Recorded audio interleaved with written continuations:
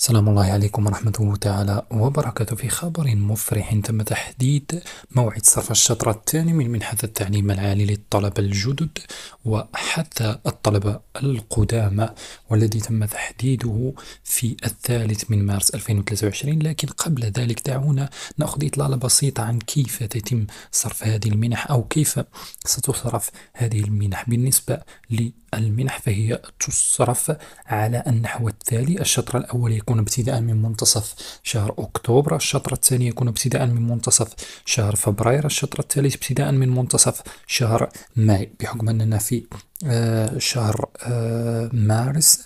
فقد تم تأخير آه، صرف المنح من منتصف شهر فبراير إلى حدود مارس. لكن كيف يتم صرف هذه المنح؟ ففي بلاغ رسمي تم تحديد تاريخ صرف المنحة الجامعية بالنسبة للطلبة الجدد والقدامى وتم تحديده في يوم 3 مارس 2000 وثلاثة وعشرون بالنسبة للطلبة الجدد والقدامى لكن الطريقة التي ستصرف بها ستكون على حسب الجهات يعني لن تصرف في وقت واحد بالنسبة لكل الطلبة والطالبات لكن ستكون يعني على حسب الجهات فقد آه، تتمكن من التوصل بها في يوم الجمعة ممكن أن تتوصل منها يوم السبت الأحد الاثنين لا السبت والأحد لا لن تتوصلوا بها يعني الجمعة الاثنين الثلاثاء الأربعاء الخميس أو باقي أيام الأسبوع. وبالتالي فمن لم يتوصل بها يوم الجمعة فما عليه سوى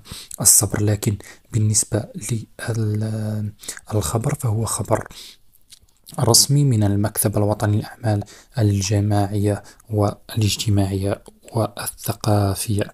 وبالتالي فما عليكم سوى الانتظار إلى يوم الثالث. من مارس 2023 بالنسبة للناس الذين لا يملكون بطاقة أو آه على سبيل المثال آه لم يأخذوا الشطر الأول أو أول يوم سيأخذون فيه البطاقة آه، فبالتالي سيجدون الشطر الأول already يعني ديجا سيجدون الشطر الأول في البطاقة وسيجدون حتى الشطر الثاني إذا صرف لهم يوم الجمعة آه، أو قد يصرف لهم يوم الاثنين على حسب الجهات يعني لم يتم تحديد الجهات وبالتالي فسيتم آه، طرح هذا الشطر الثاني آه، تدريجيا إلى حدود الخامس عشر من مارس سيكون الكل استفاد من الشطر الثاني للمنحة كان هذا هو الفيديو اليوم.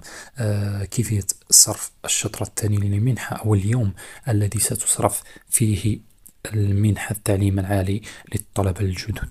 وحتى القدامى. شكرا لكم. لا تبخلوا علينا بالضغط على زر اللايك والسبسكرايب إن أعجبكم الفيديو. شكرا لكم. وإلى اللقاء.